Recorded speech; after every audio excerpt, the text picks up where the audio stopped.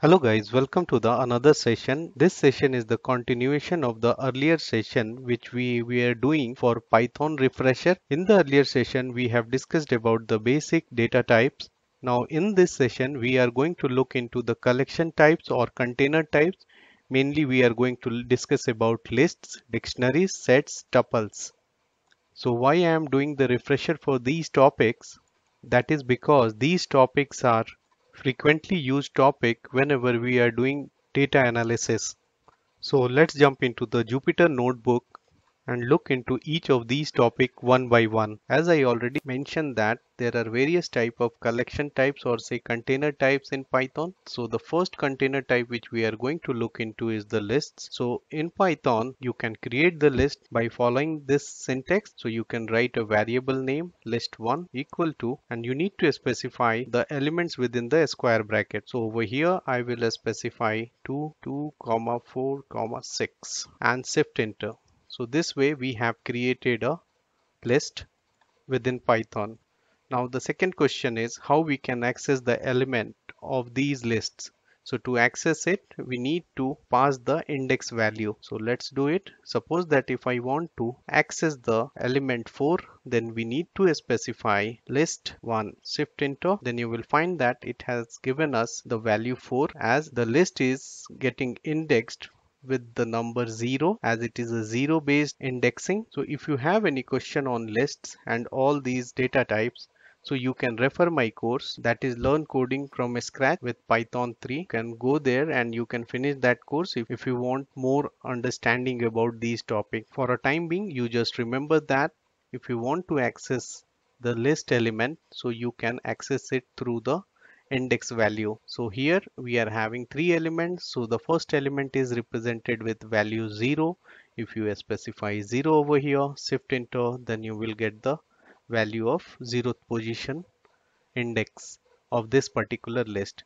Same way if you want to access value 6, then you need to specify 2 shift enter then you will get the value 6 now the second question is how we can add another item within this list so there is a method called append.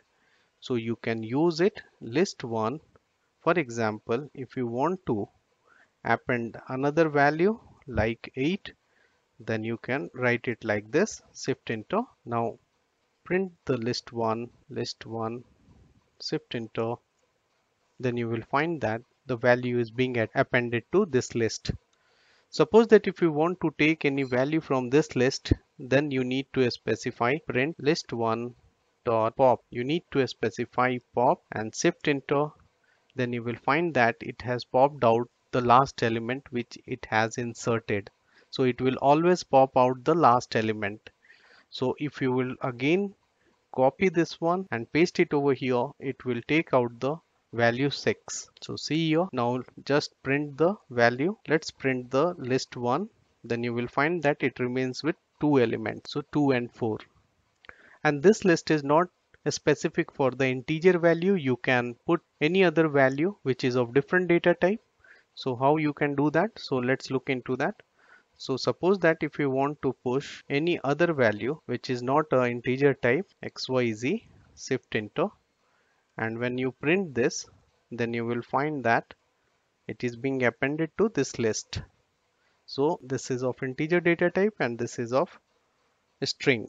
So we can keep both the data type within the list in python. So now let's discuss about slicing of list. So how we can slice a list? So so let's look into that. So this topic is going to be slicing of list. Suppose that if i want to grab the value 2 and 4 only from the list but prior to demonstrate how we can slice the list we have to understand that what actually slicing is. Slicing is nothing but a technique within python by which you can access the sub list within the list. So what it means let's look into with an example. Suppose that I am having this list and I want to grab 2 and 4 as a separate list. So how we can do that? We need to specify I'm directly going to print it. So the real syntax is going to be list 1 and within that I need to specify like this over here I need to specify square bracket colon and the two elements. So shift into then you will find that it has extracted from this list the two elements from the original list. So this is also a list but we have extracted the, the two values from the original list. Now suppose if you want to access the last these two elements so how we can access it? So you need to specify the starting position list 1 so I want that from position 1 to all so that means if I'm not specifying any value so that means I want to grab all the value which is starting from 1 to all value blank means all value if you press shift enter then it will return you the position which is being started with the index position is 1 and 4 is placed at index position 1 till the end. Now let's proceed further.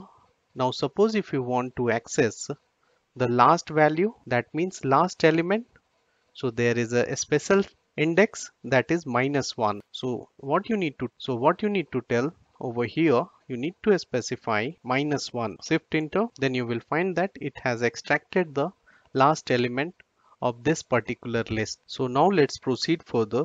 So we are having a list, list 1 and suppose that if we want to replace the value of index 0 and index 1. So how we can do that?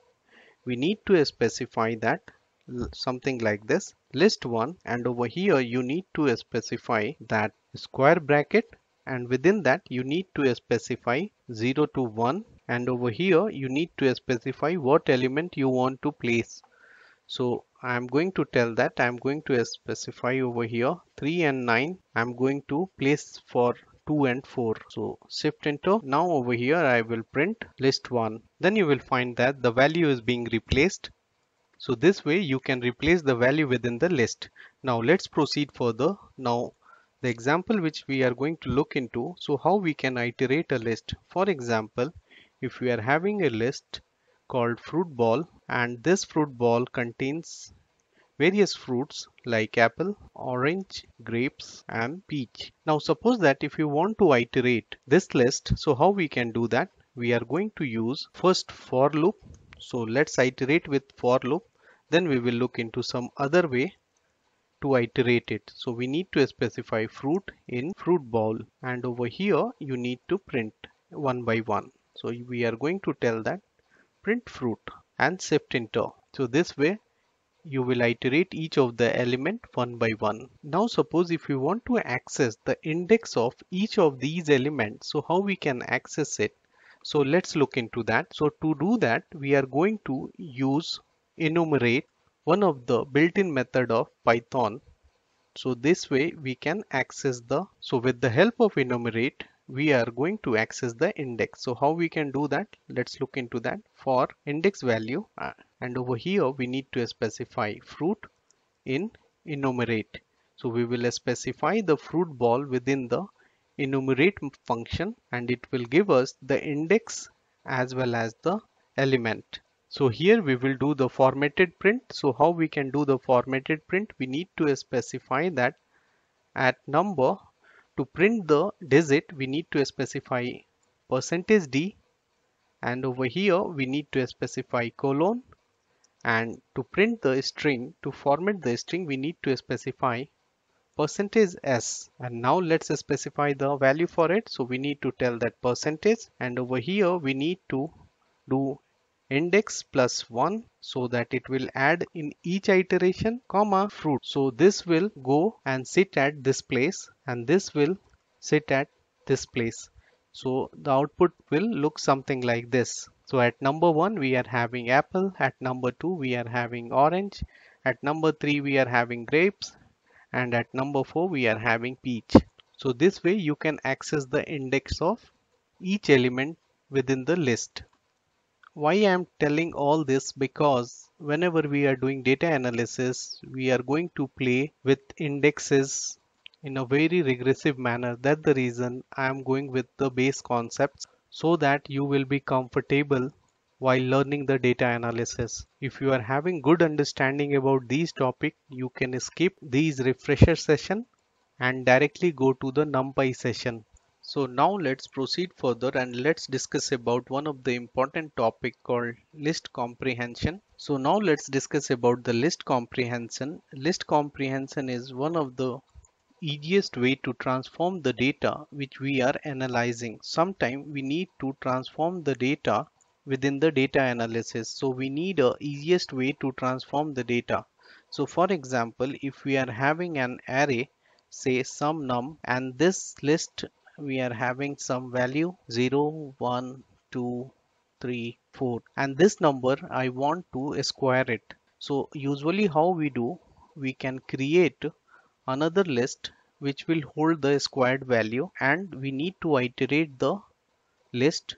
So we need to write for x in some num and over here we need to specify that whenever we will iterate a value we will append to the another list that is a square. And this value is the squared value. So how we will do the square? We will use the double asterisk for exponential term. X to the power 2 and now we will print this value. So let's print it print x. And at last we will print the entire square. So we will tell that square shift into. So here you will find that it has squared all the values. But this is not the uh, easiest way and this is not the quickest way. So how we can build the same functionality with the, with the help of list comprehensions? So how we can design the same function in a one liner so let's look into that. So what we will do we will create another list that is called square 2 equal to and over here the syntax is something like this. We need to first specify for x in some num. And now you should remember that the output we need to the thing which we want to process for example I want to transform this x and I want to store it over here. So you need it so you need to write it first. So you need to specify x double asterisk 2 that means exponential of this x. And it will calculate this value this will be iterated. All the value will be iterated one by one and then it will be squared. And now at last we will print the square 2 square 2 shift enter.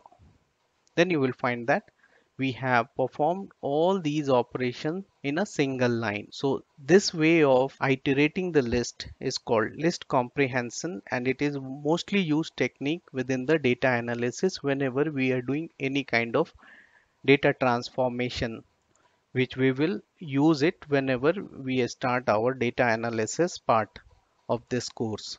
You can also specify the condition within the list comprehension. So what you need to do to specify the condition suppose that if we want to create this square as a even square so that it will hold only the even number. So let's write it within the same program. You need to specify over here if condition like this. If x value that means this value mode of 2 equal to 0 that means the number is even value. Now let's run it make sure that you are specifying over here. Now shift enter. Then you will find that it holds the even number only. And this way you can apply the if condition within list comprehension. So this is very handy technique. So here we are doing many things in a single line. So you should have to use to with this syntax. And however you want to interpret you can interpret it. I generally interpret I just suppose that if I am don't have if condition I write it like let's iterate this sum num and it should be coming to x and whatever operations which I want to perform that should go to the left hand side and whichever we are iterating that should go to the right hand side. And if we want to introduce another condition so we it should go to the right hand side. So this way you can interpret and you can remember the logic however you want to remember it. This session is going to be very long now so i'm stopping it over here. In the next session we will look into dictionaries dictionary sets and tuples. We will try to cover all these topic in one session but if it is going long so i will stop there and i will create another session for each of these topic because this topic is very important topic and I want that you should get a proper knowledge about these topics so that you can easily use these knowledge into data analysis. So on this note, I'm stopping over here. See you in the next session. Till then, bye bye. Take care.